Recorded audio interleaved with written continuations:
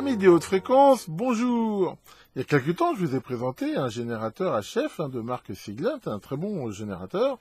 Et comme je l'expliquais dans cette vidéo, avoir un générateur à chef est un élément qui peut aider lors de la mise au point, la conception, l'analyse de circuits haute fréquence. Mais il y a un autre appareil que je vous ai déjà présenté, qui est bien sûr aussi quasiment même, je dirais, indispensable dans cette discipline, c'est l'analyseur de spectre. Et Siglint, toujours dans l'idée de présenter du matériel vraiment de qualité euh, professionnelle à des prix vraiment compétitifs, eh ben, a aussi fait toute une gamme d'analyseurs de spectre euh, qui sont un petit peu voilà dans cette même logique. Maintenant, compétitif, ça ne veut pas forcément dire bon marché, mais encore une fois, il faut toujours comparer ce qui est comparable. L'analyseur de spec que je vais vous présenter aujourd'hui, il n'y a encore pas si longtemps, pour avoir un appareil avec ces caractéristiques-là, il fallait débourser des sommes qui euh, dépassaient euh, des fois allègrement les 5000 euros, voire même beaucoup plus. Alors que là, on va avoir un appareil performant à moins de 2000 euros. Il y a déjà un petit moment que Siglent avait sorti des analyseurs de spectre, hein, la série SSA, alors 3021 ou 3032 selon la fréquence max. Et il y a quelques temps, ils ont fait un modèle amélioré, le modèle euh, Plus. Et euh, qu'est-ce qu'il a en plus? Eh ben, euh, principalement deux choses. Le fait d'avoir le tracking générateur intégré, c'est-à-dire en fait c'est plus une option, c'est livré on va dire de base. De toute façon, un, analyseur de specs un générateur de tracking, souvent c'est quand même moins utile. Aussi, surtout, ce qui change tout, c'est d'avoir un écran tactile qui, comme on va le voir, apporte vraiment un super confort d'utilisation. Siglen m'a très gentiment donné la possibilité de vous présenter euh, cet appareil et c'est ce que je vais faire aujourd'hui. Et donc, euh, découvrons-le ensemble sans plus attendre. Alors, découvrons ensemble euh, qu'est-ce qu'il y a à l'intérieur donc de ce carton Siglen. Bon, il était déjà, hein, comme l'autre fois, dans un autre carton. Enfin bon, je vous épargne la double ouverture qui n'apporte pas grand-chose. Voilà. Donc, comme on peut le voir à l'intérieur, hein, toujours bien emballé hein, dans ce système de plastique, on a cette boîte qui contient tout simplement le cordon euh, d'alimentation, hein, tout à fait standard, et ce cordon USB euh, euh, AB, pour, sûr pour pouvoir connecter l'appareil à un ordinateur, et de façon très classique, le certificat de calibration date de 11 octobre 2019. Voilà pour ça. Et après, bah, tout simplement l'appareil hein, que je vais sortir et qu'on va pouvoir regarder de plus près. Alors, euh, découvrons ensemble cet appareil. Alors, cet appareil, il est déjà enfin, relativement euh, assez large, hein, assez grand. Hein, et on peut voir, il y a vraiment un très grand écran. Euh, ça, c'est bien sûr plutôt un avantage dans la mesure où le but est de visualiser des informations. Il est aussi assez lourd, ce qui est aussi plutôt une bonne chose euh, pour plusieurs raisons. D'abord, s'il est lourd, souvent, c'est que ça veut dire qu'il y a des blindages efficaces dedans, ce qui est aussi une bonne chose.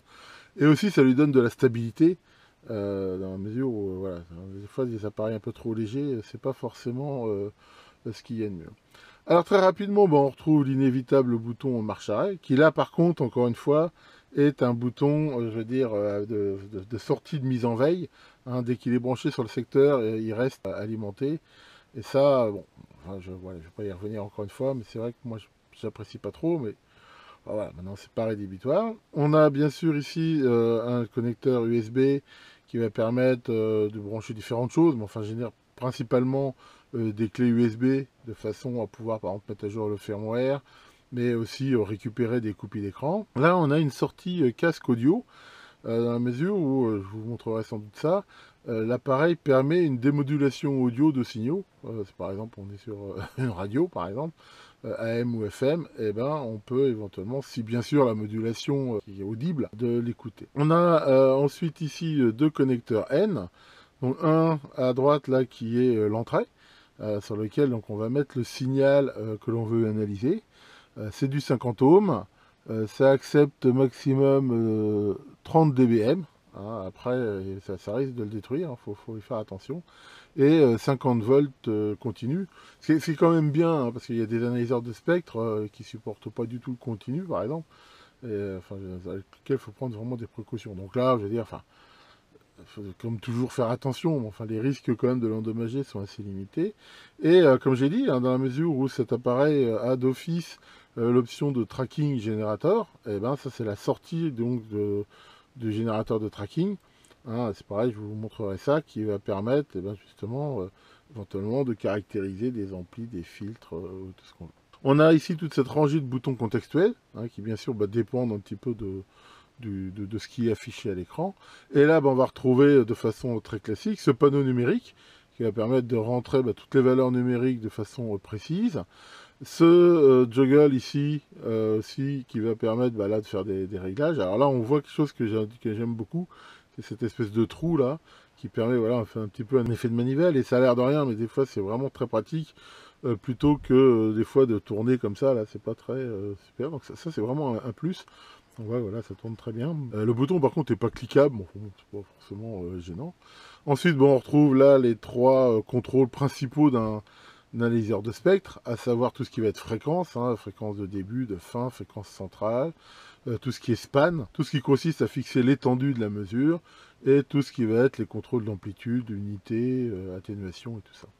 Il y a bien sûr hein, maintenant aussi bien sur les analyseurs de spectre que euh, sur les oscilloscopes ce bouton magique hein, automatique. On appuie dessus et là par exemple il va regarder le signal le plus fort qu'il trouve et automatiquement se centrer dessus. Après, de façon aussi assez classique, on va retrouver tous les réglages système, Hein, sur l'affichage, tout ce qui va être gestion de fichiers, euh, tout ce qui va être bien sûr la gestion des marqueurs, des pics, et ainsi de suite. Euh, tout ce qui va considérer ici donc les, mesures, hein, on va voir qu'il offre pas mal de possibilités de, mesures. Et après, euh, bah voilà, justement, tout ce qui va être de, la démodulation. Hein, c'est par exemple grâce à ce bouton qu'on pourra justement éventuellement écouter un, signal. tout ce qui va être les réglages de balayage, euh, de bandwidth. c'est bien sûr aussi important. C'est avec ça qu'on va pouvoir régler le filtre vidéo, le, filtre de bande, de, façon à, choisir, on va dire, la, finesse, la granularité de, ce qu'on regarde. Ce qui va être les traces, hein, min, max, euh, ainsi de suite. Enfin, voilà, je vais vous montrer tout ça. Là, on a aussi bien sûr un bouton d'aide. Hein. Maintenant, tous ces appareils euh, ont des aides intégrées, c'est plutôt sympa. Enfin donc euh, voilà, hein, donc on voit ici hein, donc le SSA 3021 euh, Plus. Donc euh, là on va pouvoir voir qu'il y a un écran tactile. J'ai oublié le, preset qui est aussi un bouton pour moi fondamental, hein, qui encore une fois permet à un moment donné de revenir à un réglage, je veux dire standardisé. réglage que on peut en plus définir soi-même. Est-ce que c'est le réglage standard, je veux dire d'usine, ou est-ce que on peut choisir en fait quand on appuie sur ce bouton à quel réglage on peut aller. Donc voilà pour cet appareil. Il va donc de 9 kHz à 2,1 GHz, en sachant qu'il existe aussi une version qui monte jusqu'à 3,2. Alors euh, regardons un petit peu maintenant euh, ce qu'il y a sur la face arrière. On va retrouver évidemment euh, la prise d'alimentation. Hein, sachant que encore une fois, hein, comme de plus en plus, il n'y a même pas de réglage 110, 240, hein, c'est automatique. Et voilà, comme le générateur je vous avais montré, ça marche même jusqu'à 400 Hz et ainsi de suite. donc ça ne consomme pas énormément, ça consomme 50 watts. Euh, là, euh, quelque chose qui des fois est intéressant, sur tous ces appareils, c'est euh, cette prise je veux dire, standard d'antivol. ce qui permet d'y mettre un câble antivol qui est mis sur le châssis. Ça, ça peut être intéressant dans certains cas pour bah, éviter que quelqu'un euh, l'embarque rapidement, vu que c'est un truc portable. Et ici, on va retrouver un certain nombre de connecteurs, à savoir la prise USB-B, justement, qui va permettre de le connecter en USB sur un PC, euh, Energy 45 qui permettra donc de le connecter à un réseau, à un LAN. Et lui, hein, je vous le montrerai aussi, hein, permet après de piloter avec un simple navigateur Internet. Et là, on retrouve euh, trois BNC, les deux références, un ref in, ref out, ça, euh, j'en ai déjà parlé, hein, ça va permettre de synchroniser ensemble des appareils, soit sur une référence très précise, un genre GPS ou autre, euh, qui vous donnera bah, bien sûr une, justesse euh, très très importante, mais au, moins que les appareils soient conséquents. Il y a des grandes chances que je le couple avec le générateur HF que je vous ai montré. en même temps, ce système-là, j'aime bien parce que c'est automatique. En fait, dès qu'il va détecter un signal sur le, IN, eh ben, il va automatiquement se synchroniser. Et là, il euh, bah, faudra regarder quel est celui qui a la meilleure euh, je veux dire, justesse. Et il servira éventuellement de référence à l'autre s'il est allumé. Et euh, grâce à ça, et ben, au moins, ils seront toujours cohérents l'un par rapport à l'autre. Et ça, bah, c'est quand même mieux. Ça, éliminera en fait les, erreurs possibles. Et Trig In, ça permet dans certains cas en fait de déclencher le, le balayage. Par exemple, on veut faire qu'une seule passe de balayage et la mémoriser. Euh, sur le fait de l'apparition d'un signal, une commande. Ça, peut éventuellement être utile. Maintenant, il faut être honnête, je veux dire, en utilisation amateur comme ça, c'est certainement pas l'entrée qu'on utilise le plus, mais dans des systèmes des fois automatisés, euh, ça peut être euh, bien. Et ben c'est là que les Athéniens s'atteignaient. je vais le mettre en route pour la première fois. Honnêtement, je ne l'ai jamais démarré. Là, encore une fois, c'est vraiment du live. donc là, on peut voir encore une fois, là, je ne sais pas si on le voit bien, que voilà, quand il est en veille, on a le, bouton ici qui est faiblement illuminé qui montre la présence secteur. Donc j'ai enlevé la protection euh, qu'il y avait sur l'écran euh, pour le, protéger. Alors voilà, on va le mettre en route. Ok, donc là on entend un très léger bruit de ventilateur, mais euh, honnêtement c'est tout à fait supportable. il est quand même un petit peu moins fort que celui du, du qui était des fois un peu plus bruyant. Là on va, on va dire tout à fait euh, acceptable. Hein. Je rappelle par contre que, enfin le mettent bien dans la doc, que ces appareils c'est important qu'ils soient bien, euh, enfin bien de la place pour la, ventilation.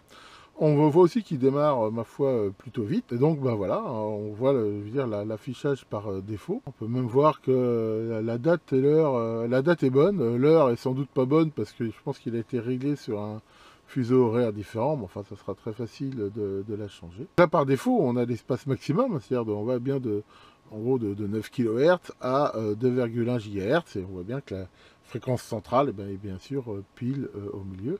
On voit aussi que le plancher de bruit, hein, c'est ça qu'on appelle le plancher de bruit, on va dire, c'est le, niveau minimum qu'il y a quand il n'y a pas de signal à l'entrée. L'écran est vraiment d'une excellente qualité visuelle, hein, très grande finesse, très lisible, donc là-dessus, vraiment rien à dire. Alors on va voir si c'est vraiment tactile. Si je veux changer la fréquence de démarrage, Hein, là, elle est, je veux dire, symboliquement à zéro, mais c'est vrai que euh, comme il démarre à 9 kHz, c'est-à-dire entre les deux, on n'aura pas grand-chose. Mais bon, c'est comme ça sur beaucoup euh, d'analyseurs.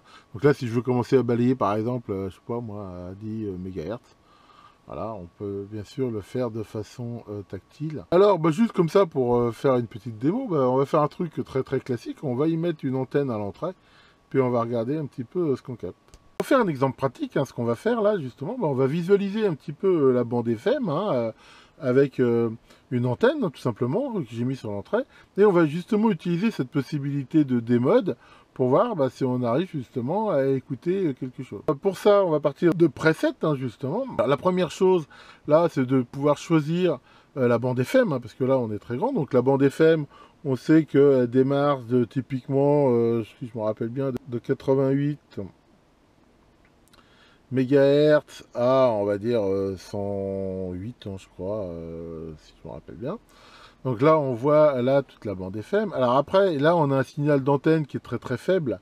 Donc il va falloir euh, l'amplifier, enfin je veux dire déjà pas l'atténuer ici. Donc là je mets pas d'atténuateur. Et en même temps, on peut avoir un préamplificateur intégré qui euh, va permettre euh, ici euh, d'aider. On peut là maintenant réduire et peut-être éventuellement déjà un petit peu aussi la bande passante, voilà, de façon à avoir un petit peu plus de, résolution. Et bah là, on voit déjà par exemple un très gros pic. Alors justement, on va pouvoir essayer maintenant d'aller regarder là-dedans si on entend quelque chose. Donc pour ça, on va prendre la fonction des modes, lui dire que je veux de la FM. Hein. Pour info, j'ai branché la sortie sur mon petit ampli EBF. Voilà. Et automatiquement, euh, là, après, il y a un temps de démodulation euh, que là, euh, on va mettre bas. En fait, c'est le temps où après chaque balayage, en fait, il démodule. Et on va activer, bien sûr, la sortie haut-parleur. Maintenant, on va même le baisser un peu le temps, là, histoire justement déjà de repérer une station. Donc là, on, voit bien qu'un analyseur de spectre, c'est bien un récepteur radio. Hein, on voit bien que je me balade un petit peu sur les fréquences. je vais essayer d'en trouver une. voilà, en déplaçant le marqueur.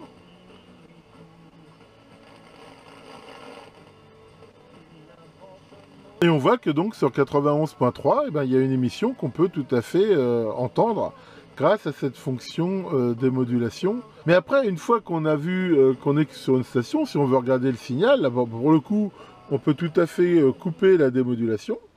Voilà, et maintenant, venir examiner le signal voilà, beaucoup plus en détail. Voilà, et euh, là on voit tout de suite aussi le gros intérêt là, du tactile, où on peut facilement, euh, ici, voilà, euh, régler exactement comme on veut le, les différents paramètres, par exemple les marqueurs, euh, pouvoir régler le niveau.